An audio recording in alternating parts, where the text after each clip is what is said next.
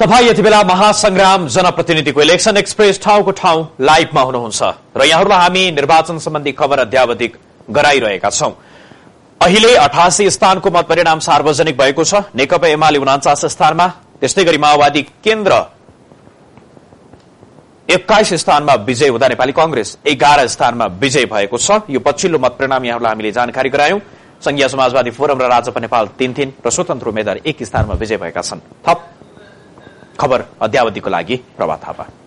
महासंग्राम जनप्रतिनिधिको election express ठाउँको ठाउँ लाइभमा हाम्रो सम्पर्कमा हुनुहुन्छ। यतिखेर बाह्र स्थित संवाददाता अजय कुमार शाह। अझै हामीलाई त्यहाँको पछिल्लो मतगणनाको विवरण जानकारी गराउनुहोस् न।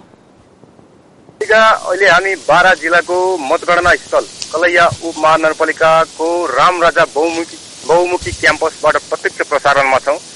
अर्कै हामीलाई प्राप्त जानकारी अनुसार बाह्र क्षेत्र नम्बर दुईका प्रतिनिधि सभा प्रतिनिधि सभा सदस्यका लागि राम सहाय यादव बाह्र हजार चार सय चौवालिस मत ल्याई विजयी हुनुभएको छ।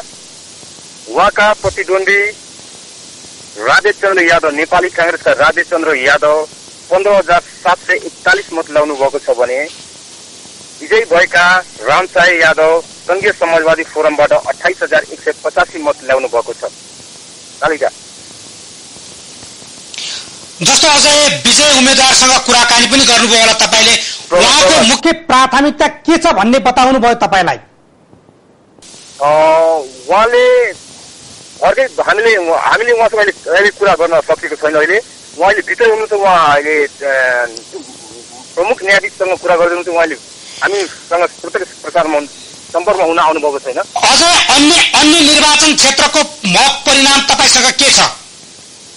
हाम्रो हामीसँग बाह्र क्षेत्र नम्बर एक प्रतिनिधि सभा सदस्यको लागि वाम गठबन्धन एमाले एमालेलाई सत्र हजार सात सय त्रिपन्न मत ल्याउनु भएको छ भने नेपाली काङ्ग्रेसले सोह्र हजार नौ सय छ्यालिस मत ल्याई पछ्याइरहेको अवस्था अवस्था छ भने त्यस्तै क्षेत्र नम्बर एकै प्रदेशमा वाम गठबन्धनका एमाले दस हजार नौ सय अन्ठानब्बे मत ल्याएर अघि छ भने उसलाई सङ्घीय समाजवादी फोरम नेपालबाट दुई हजार तेइस हजार सात सय अस्सी मत ल्याई पछ्याइरहेको अवस्था छ। अझै निरन्तर निर्वाचन सम्बन्धी खबरमा नजर राखिराख्नुहोला हामी तपाईँसँग पुनः निर्वाचनको थप अध्यावधिको लागि जोडिनेछौ। जानकारीको लागि धन्यवाद। उहाँ हुनुहुन्थ्यो बाह्र स्थित संवाददाता अजय कुमार शाह।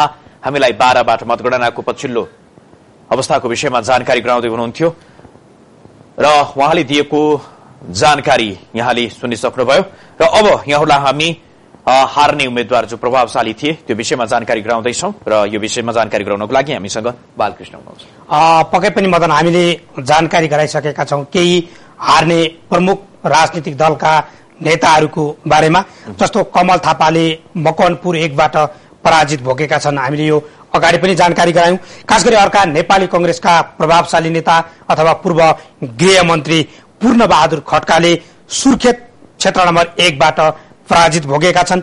उनको यो पराजय संसदीय निर्वाचनमा पहिलो पराजय हो जो उनी जित्दै आएका थिए सुर्खेतबाट। यो उनको संसदीय निर्वाचनमा अपराजित यात्रा उनले पूर्ण विराम गरेका छन्। यसपटक सुर्खेत क्षेत्र नम्बर एकबाट पराजित भएका छन्। उनी खास गरी सुर्खेतबाट उनले तेत्तीस हजार तीन सय सतहत्तर मत ल्याउँदा विजय उम्मेद्वार जुन ध्रुवशाही हुन् उनले छत्तीस हजार आठ सय उन्साठी मत प्राप्त गरेका थिए। त्यसै गरी अर्का हामीले जानकारी गराउँ खास गरी नेपाली कंग्रेसको तर्फबाट नुवाकोटबाट उम्मेद्वार रहेका अर्जुन नरसिंह केसी र डाक्टर रामशरण महतले पनि त्यहाँ पराजय भोगेका छन्। त्यसै गरी राजपाका उपाध्यक्ष रूपन्देही क्षेत्र नम्बर चारबाट उम्मेद्वार दिएका सर्वेन्द्रनाथ शुक्ला जुन राजपाका उपाध्यक्ष हुन् उनले पनि पराजय भोगेका छन्। एघार हजार तीन सय दुई मत अन्तरले कंग्रेसका उम्मेद्वार प्रमोद कुमार शाहसँग उनीले पराजय भोगे भने शुक्लाले बीस हजार चार सय सोह्र मत प्राप्त गरेका थिए। त्यसै गरी हामी अर्को जानकारी गराउँ जहाँ निकै पहिलो चरणमा निर्वाचन भएको र निकै कडा प्रतिस्पर्धा हुने आकलन गरिएको र कडा प्रतिस्पर्धा भएका नेता जुन माओवादी केन्द्रका प्रभावशाली नेता नारायण काजी श्रेष्ठ डाक्टर बाबुराम भट्टराईसँग पराजित भएका छन् गोर्खाबाट। अवश्य पनि हामी लगातार जानकारी गराइरहेका छौँ। त्यस्तै गरी डाक्टर शेखर कोइराला पशुपति शमशेर राणा र रामहरी रामहरी कतिवटाको विषयमा यहाँहरूलाई केही समयपछि जानकारी गराउनेछौँ। र थप खबर अध्यावधिको लागि प्रभात थापा। दर्शकवृन्द निरन्तर मतदानदेखि मत परिणामसम्मको निर्वाचन खबर अद्यावधि गराइरहेका छौं र यसै क्रममा अब लागौं धनगढ़ीतर्फ।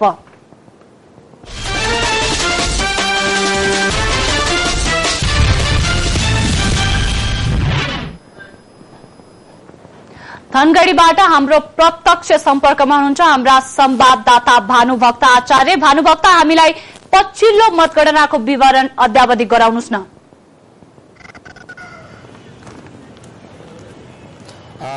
प्रभा यतिखेर हामी कैलाली क्षेत्र नम्बर तीनमा छौं। प्रतिनिधि सभाको मतगणना भइरहेको छ।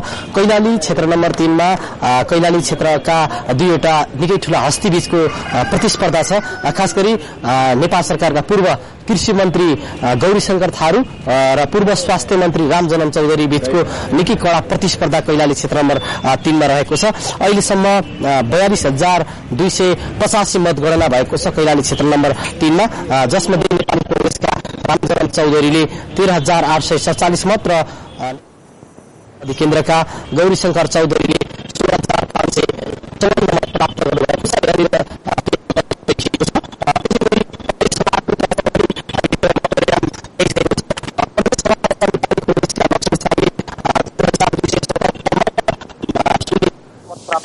छ। यो तेह्र हजार आठ सय तिरासी मत गर्दाखेरिको अवस्था हो।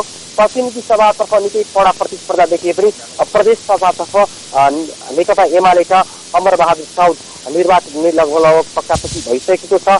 भनेर हामीले जानकारी प्राप्त गरेका छौँ। अब थोरै मत परिणाम छ। यो मत फराकिलो मतले गर्दाखेरि नेकपा एमालेका अमरबहादुर साउद मतले गर्दाखेरि नेकपा एमालेका अमरबहादुर साउद जितको संघारमा हुनुहुन्छ र अब उहाँ औपचारिक औपचारिकताको मात्र एउटा बाँकी छ। यतिखेर हामीसँग नेकपा एमालेका अमर साउद जो चाहिँ जितको संघारमा हुनुहुन्छ उहाँसँग हामी जोडिन चाहन्छौँ। पहिलो पटक अब केही समयपछि उहाँको औपचारिक घोषणा हुनेछ। सबैभन्दा पहिले शुभकामना धन्यवाद। धन्यवाद। अब तपाईँको भनौँ न अब औपचारिकता केही समयपछि एउटा औपचारिकता घोषणा हुनेछ। त्योभन्दा अगाडि हामीसँग न्युज टेलिभिजनको यो विशेष प्रस्तुतिमा छ। मुख्य एजेन्डा र पहिलो घोषणा के हुनेछ? सबभन्दा पहिलो घोषणा जनताका लागि एउटा राजनीतिक त्यो राजनीतिक शुद्धिकरण र प्रशासनिक शुद्धिकरण भन्ने मैले पहिलो घोषणा जनताका लागि भन्ने गरेको छु राजनीतिक शुद्धिकरण भन्दाखेरि मैले राजनीतिलाई कुनै स्वार्थको अथवा व्यवसायको रूपमा प्रयोग नगरेर निस्वार्थ रूपमा जनताको सेवामा समर्पित गर्ने मेरो पहिलो प्रतिबद्धता प्रतिबद्धता छ त्यसै गरी प्रशासनिक शुद्धिकरणका सन्दर्भमा हाम्रो प्रदेश तहबाट अथवा प्रशासनिक क्षेत्रबाट जुन कर्मचारीले अनावश्यक जनतालाई एक खालको ढिला सुस्ती रहने थुप्रै खालका जुन गतिविधि अहिलेको हाम्रो प्रशासनिक क्षेत्रमा देखिएका छन् त्यसलाई पनि विशुद्ध रूपमा जनताको सेवामा समर्पित गराउनका लागि मैले पहल गर्ने प्रतिबद्धता जनताका लागि पहिलो प्राथमिकताका रूपमा राखेको छु। खास गरी सात नम्बर प्रदेश विकासका दृष्टिकोणले पनि विगतदेखि नै पछाडि पारियो भनिएको छ। अब पहिलो पटक सङ्घीय संरचनापछि प्रदेश सभाको निर्वाचन भएको छ। अब यस क्षेत्रको प्रदेशको विकास र आर्थिक समृद्धिमा तपाईँको भूमिका के रहन्छ?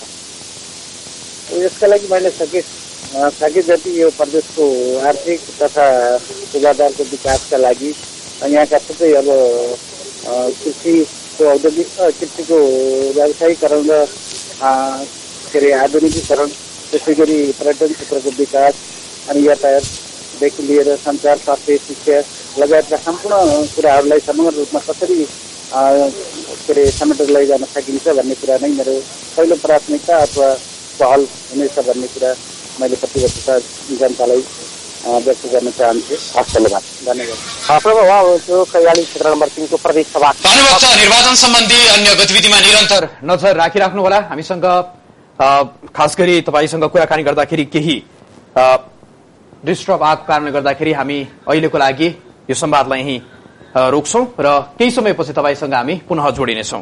उहाँ हुनुहुन्थ्यो धनगढ़ी स्थित संवाददाता भानुभक्त आचार्य। हामीलाई धनगढ़ीबाट त्यहाँको पछिल्लो मतपरिणामको विषयमा जानकारी गराउँदै हुनुहुन्थ्यो र उहाँसँग हामी फेरि कुराकानी गर्नेछौँ र उहाँले खास गरी धनगढ़ी र समग्र कैलालीकै अवस्थाको विषयमा जानकारी गराउँदै हुनुहुन्थ्यो। र यहाँहरूलाई हामी केही समय अगाडि जो हारी प्रभावशाली नेता थिए केन्द्रीय स्तरमा तर उनीहरूले आफ्नो निर्वाचन क्षेत्रमा भने जित हासिल गर्न सकेनन् त्यसको विषयमा जानकारी गराउँदै थियौं। र त्यस्तै एकजना प्रभावशाली नेता रहेका थिए नेपाली कंग्रेसका डाक्टर शेखर कोइराला।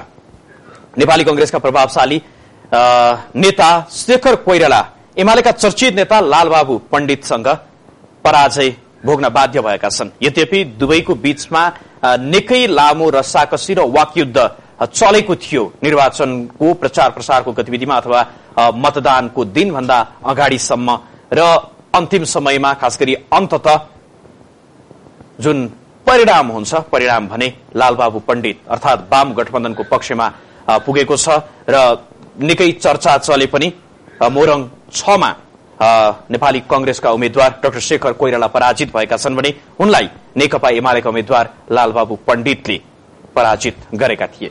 त्यसै गरी सिन्धुपाल्चोक क्षेत्र नम्बर दुईमा तेस्रो पटक राप्रपा प्रजातान्त्रिकका अध्यक्ष पशुपति शमशेर राणाले पनि पराजित भोगेका छन्। उनी दुई हजार चौसठी सत्तरी तथा चौहत्तरको तीनवटै निर्वाचनमा पराजित भएका हुन्। उनीलाई एमालेका वाम गठबन्धनका तर्फबाट उम्मेद्वार बनेका शेर बहादुर तामाङले आठ हजार मतले पछि पार्दै विजेता हासिल गरेका थिए।